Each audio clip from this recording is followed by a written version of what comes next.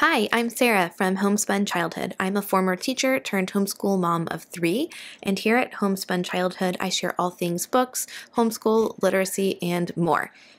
Today, we're going to do a full review of the new UFLI Foundations full foundational reading program. This will be both looking at the print book and then we'll also dive into the digital toolbox on their website. So let's jump in. UFLI, University of Florida Literacy Institute, has been a game changer in foundational reading instruction. They have lots of research and lots of resources for teachers, lots of free resources on their website, and they have been doing a fantastic job of getting the word out on the importance of systematic explicit reading foundation. This curriculum guide is about $100, I want to say, and it covers all of your foundational reading instruction K2. So with this curriculum, you would only need this guide to cover that range and not, you know, one for kindergarten, first grade, second grade. So let's jump into this and see what it's all about. Now, this is essentially an open and go program. However, keep in mind that a lot of the resources are in fact digital, so you would need to print those if you were not going to use them in a digital format. So we begin with our table of contents here. Try to zoom in a little bit for you. And then we go into introducing the program, what the program is all about, what it includes, essential background knowledge. I really like that they include this part. They go through, sorry, children are screaming, we just got a switch, and they're like, what is this? So this component of the book is great. It goes through how we teach foundational reading based off of the latest science and research. So it goes through all of that for you, explaining the research in an easily digestible way.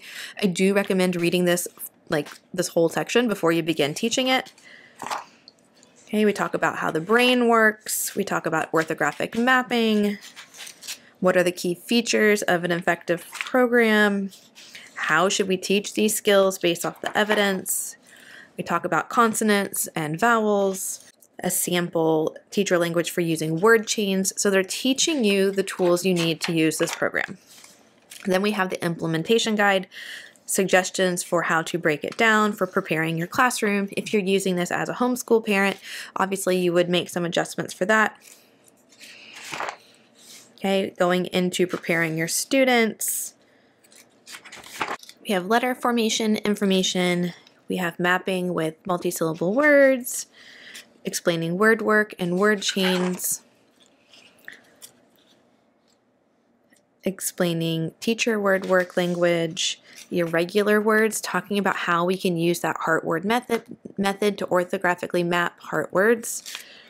So we don't need to memorize the whole word, we can just learn the particular sound that is odd.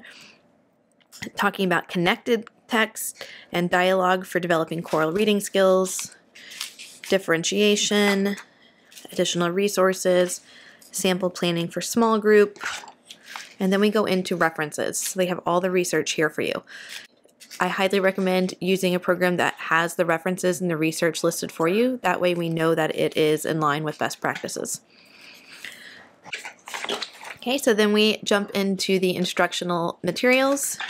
It has a scope and sequence that's broken down into different categories. So here is the entire scope and sequence, everything that's in the book, all the lessons that are numbered.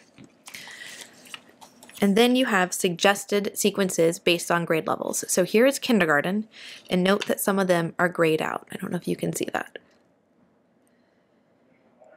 See how some of them are grayed out even though they're in order? So this is really great for looking at a specific grade level if that's how you're using the program. They also have that for first grade and second grade.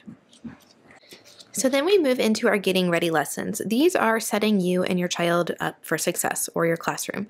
They they use the sound wall and letter formation to build up some of those pre-literacy skills. We're talking about how we use our mouth to form letter sounds. We talk about voice and unvoiced sounds. We're doing sky writing and talking about different shapes like curving and circles and tracing. We're moving on to teeth placement for saying sounds, place of articulation.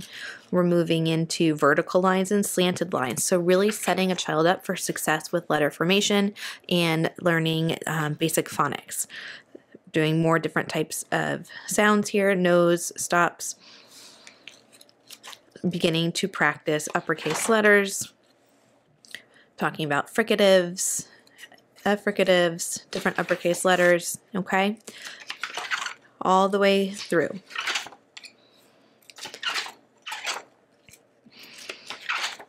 Then we begin our lessons. So, yes, this begins on A, the next lesson is not B. This is following their scope and sequence that is designed so that you can begin building words as quickly as possible. So, all of their lessons have the same format.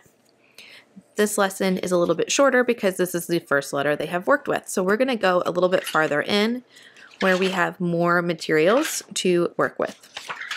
Note that the lessons are numbered here. This will correspond to the toolbox digital tools that we'll look at in a minute. So let's come here to, let's look at lesson five. Lesson five is a little bit of a review and teaching skill. So we have VC and CVC words, vowel consonant and consonant vowel consonant words. We have the instructional notes for the teacher. We have our phonemic awareness, our visual drill, and our auditory drill. So they see the grapheme and they tell you the sound. They hear the phoneme and they write the grapheme. We have our blending drill. We have our new instruction where the black is scripted for you. We have word work. We start introducing irregular words using the heart word method. And they do note that I is temporarily irregular, meaning once you learn the open syllable rules, I does not is no longer irregular. Irregular. We have connected text, so that's reading short decodable text that is applicable to the sounds we've already learned.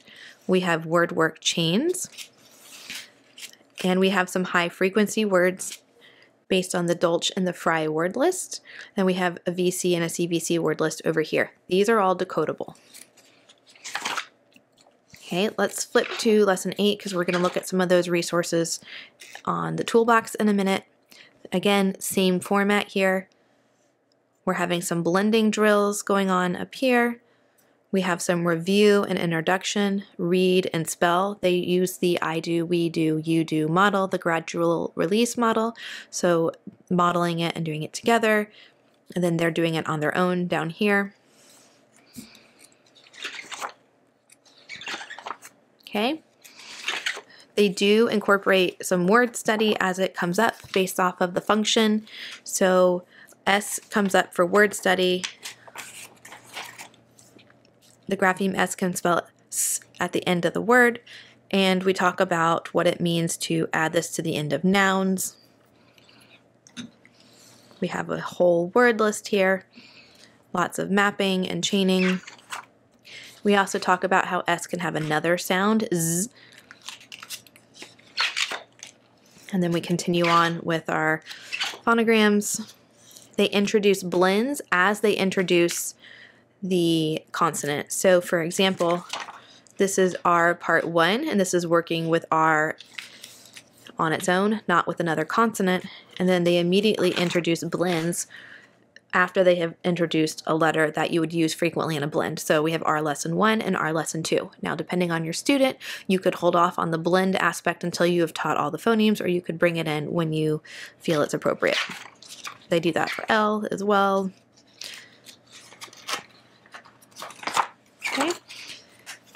They teach rules such as the floss rule, the doubling rule. Here, the same format.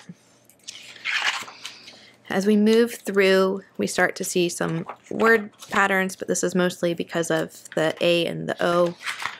We have the CK, digraphs, ing, okay?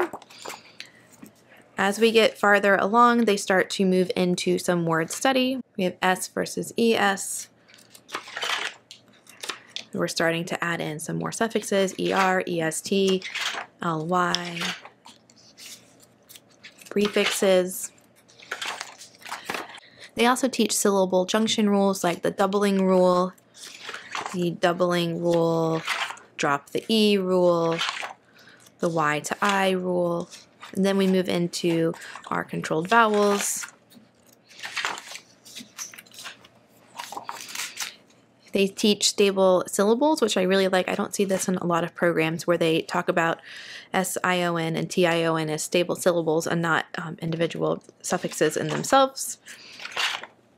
And then in the back, when we get to the end here, we have some more resources. There is a detailed scope and sequence with all of the concepts and when they are taught.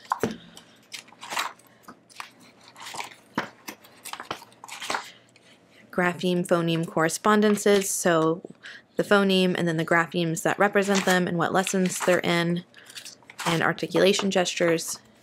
There are sound charts, sound walls, and sound wall charts. We have moved away from your traditional word wall in a classroom where you have the alphabet and then words underneath it that go with that letter. Instead, we're focusing more on where sounds are produced in the mouth and vowel valley. They have some progress monitoring in here. However, I prefer DIBELS for my progress monitoring.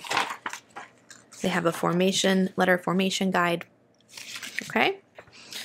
So this is the UFLI foundational reading program. I think this is a great resource for classroom teachers who work in a school that might not have adopted a science of reading curriculum, for remediation, and also for homeschool families. And I really like that this is essentially open and go and there's not a lot of moving pieces. I think the missing component for homeschool families would be figuring out how to take the lesson and pace that out over the course of a week or a month. I typically recommend doing one of these lessons, so CK versus K, for example, or SH, digraph SH, for a whole week, because I find that children often need a lot more practice. Now, obviously, you can speed that up and do one or two if your child is really grasping the concept and retaining it. You can also slow it down if necessary. And so I will be working on getting a document together of how I would recommend pacing this over the course of a week. But essentially, you would be breaking up some of these practice components onto the different days of the week, but continually doing things like the blending and the visual and um, blending drills right here. You'd introduce your new concept on day one, and then you would scatter these different practice activities over the course of a week. All right, let's dive into the toolbox. I'm going to switch this over to my computer and we'll get going. All right, here we are at the University of Florida Literacy Institute UFLI Foundations Toolbox. This is where you will access the digital resources. These are available for everyone, so whether or not you're using the program, you can still use these resources. So let's go to the toolbox. So over here, we have our table of contents. We have lesson resources, UFLI apps, Decodable Text Guide. This is an amazing resource, y'all. Printable resources, home support, and then there's a video library coming soon. So here's where you can order the manual if you would like. And we're just going to kind of scroll down through here. So we start with the materials for the different lessons. This is chunked into different sections, the same sections that the scope and sequence were broken down into. So if we come to lessons 1 through 34, we will come down and we see this whole breakdown. And now with the materials, you can either download them as a PowerPoint or you can use Google Slide. And then as you get a few letters under your belt, lessons up here to lesson five, then you start having a take home practice. When you get to lesson eight, you start having a decodable practice.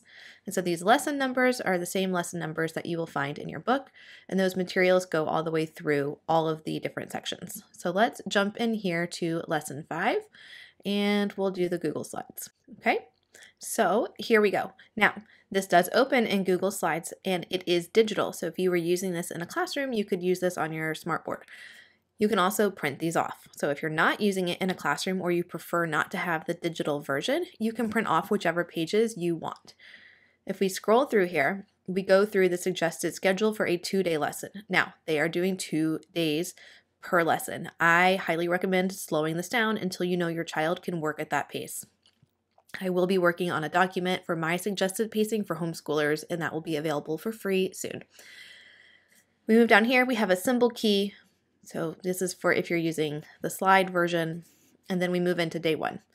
And so this is the schedule that you could use to show, you know, your child or your classroom what you're going to be working on. We're just going to kind of skip through that part because we don't need the schedule necessarily. All right, now they move into the visual drill. So you could use this on a screen or you could just have your own set of index cards with these letters on them. And these are the cards that you're going to ask your child to say something like A, A, apple, T, t turtle. I use the Orton Gillingham uh, letters for this. Um, I will try to link a chart for those as well. Then we, on our schedule, have checked those off, check, check, and you move into the auditory drill. And so this is where you would be providing them with a sound that's in the manual under auditory drill. For example, if these are the sounds that have been taught up here, you would say, okay, please write the letter that says the t sound. All right, write the letter that says s. Write the letter that says mm. So we're listening and then we're writing it. These warm up drills are great to do on a daily basis, just reviewing the uh, different uh, phonograms that you have taught. Moving down to their schedule, the next thing they have is the blending drill. Now, you could use a digital blending board for this. You could also make your own blending drill where you just have some kind of movable letter or alphabet cards where you can quickly change the letters to use CVC type words that are decodable, meaning they only include the letters that the child has been explicitly taught. Rooted in Language has a nice little flip book that they make for this. Um, I can show you mine. I think that's in the Rooted community. You can see examples of that. Then we come down here and we have our new concept portion. This is where you're teaching the new concept. The directions are scripted for you in the manual. Then you move into some word work. This is looking like orthographic mapping up here. You could use a digital tool. You could also use a movable alphabet. And I really recommend, especially for the foundational years, that we're using some kind of orthographic mapping procedure, meaning we are matching a sound to a box that represents that sound. So for example, here for fish, the child could indicate um, by either sliding up a tile or a block or something that it was going to be f, i, sh three sounds and then they would move their letter to match those three sounds. So if I was using this kind of a uh, graph paper right here, I would have them tap the sound and say the sound before they move the alphabet. So I would say, okay, let's make the word fish. Can you say fish? And they would say fish. And then you would say, okay, let's tap and say our sounds.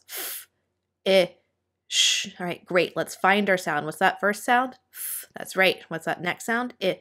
That's right. What's our next sound? Shh. And why does shh get one box? Because it's making two letters making one sound. Okay. Here is an example of a tray for making words. This is a really straightforward way to have a tray. I prefer to have an option where I have more than one vowel and more than one consonant for the letters a child has been taught so that they can work through multiple words at a time. However, this would work just fine if you're going to do one word at a time and not include words like pop, where you would need two P's.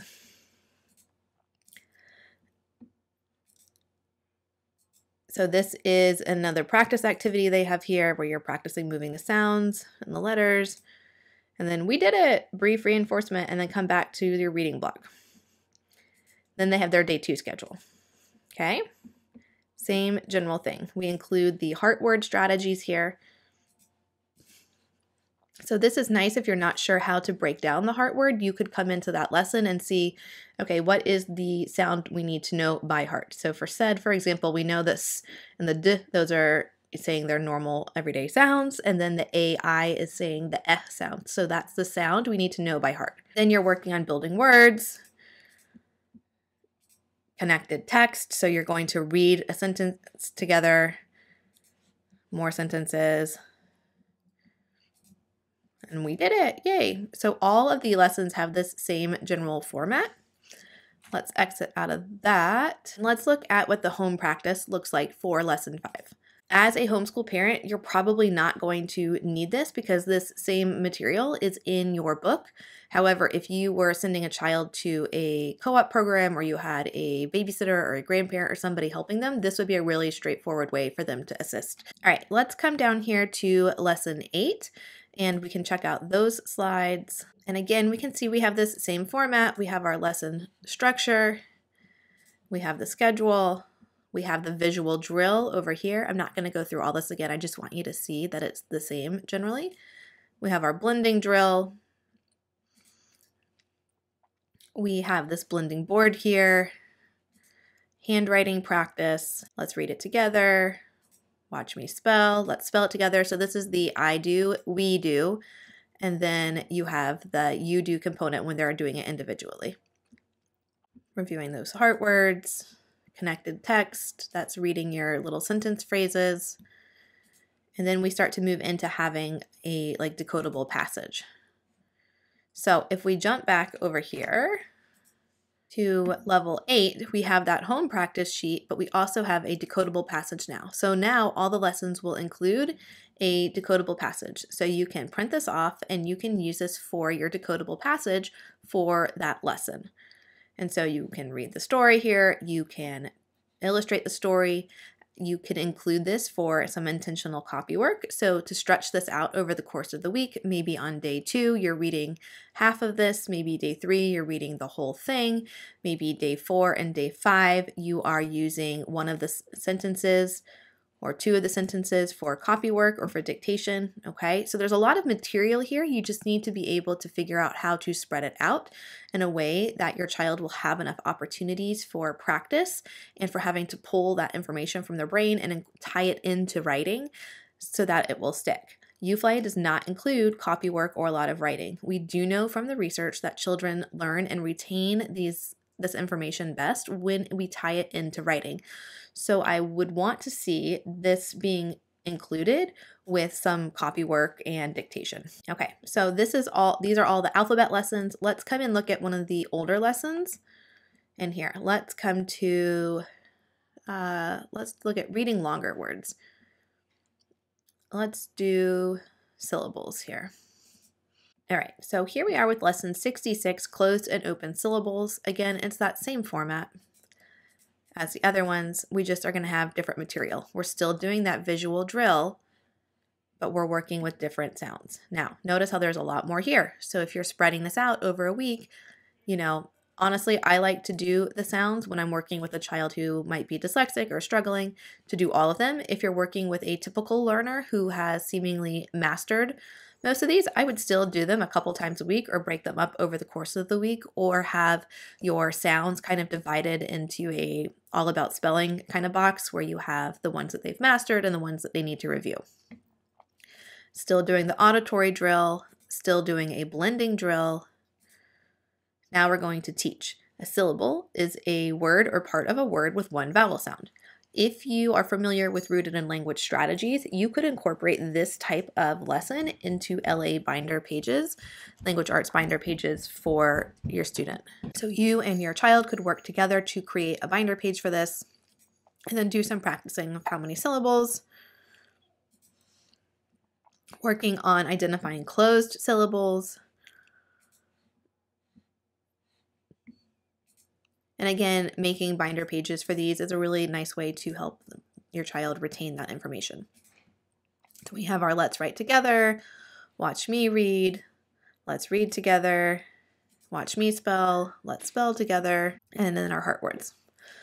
The connected text, we have some reading here, and then we have some decodable text. So if you are using this as a homeschool parent, you could go ahead and print off to prepare you could print off the different reading parts so you knew that you had your decodable resources and materials already available and put them into a binder or into a file box where you have them labeled by lesson.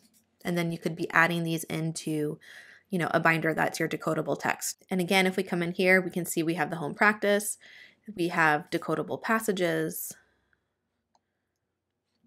Okay, so here's Joe's friend Russ. This is the same passage that we saw in the slideshow, but this is a print nice printable version. And again, this is something you could use a lot of different ways. I will be sharing information on how to take a decodable passage and use it throughout a week um, in an upcoming reel, so stay tuned for that. As we get to the more advanced lessons, we also have additional activities. For example, they have roll and read here. Just a quick dice game to practice reading. And you could take turns with this, right? You and your child could be working on this. You could do this as some kind of a bingo board, right? You can turn this into a lot of different types of games. Okay, so let's come back and just briefly, you know, know that you can come and look at these, right? These are available for everyone. So let's go back to the top here and let's look at the UFLI apps. So, okay, so we have this virtual blending board. I'm not going to go into the details here. You can watch this video down here to see how it works. We have uh, virtual word work mats, beginner and intermediate. Okay, so the next section we're going to look at is the decodable text guide, and this is a really amazing resource. This is a guide of all these different decodable series. Look at all these series, y'all. And they are organized as decodable per the scope and sequence for UFLI foundations. So for UFLI, we have all of their decodable passages listed here. These are clickable. They bring up that same those same documents we were looking at earlier. And then the rest of these series are alphabetical. Some of them are linked to the series themselves, some of them are not. I personally enjoy the alphabet series and Flyleaf. I do not have experience with all of these though. This is a really fantastic resource though. So if you're using UFLI and you have some of these other programs, then you can pull this up and figure out what to use. Then we have this printable resources section here, lesson planning and implementation support guide. So this is essentially like a cheat sheet um, for what was in the teacher guide. We have the heart word cards. These are our your regular word cards. We have sound wall materials, individual and for the classroom. We have grapheme cards. These are printable. You can use these for your visual drills. And yes, that is Comic Sans. We have the word work mat, and then we have printable alphabet tiles and mat. This home support guide is just a cheat sheet for how to use those home support pages that are listed in your materials earlier and then the printable alphabet tile. This video library is coming soon and I am excited to see what that is. So that is a wrap on the tour of the UFLI Foundations Toolbox, the digital resources that go alongside the UFLI Foundations program. All right, that's a wrap everyone. I hope you enjoyed this tour of the new UFLI Foundations program. If you have any questions about this program or the digital Toolbox resources, feel free to drop a comment below or reach out to me on Instagram at Homespun Childhood. I would love to talk more about how you can implement this in your classroom or in your homeschool because I think this is a really solid and affordable choice. If we consider that it is around $100 for the entire K2 program, that ends up being quite reasonable compared to other programs that can be over 100 per year. So thank you so much for tuning in. If you liked this video, feel free to hit that like button and hit subscribe. Thank you.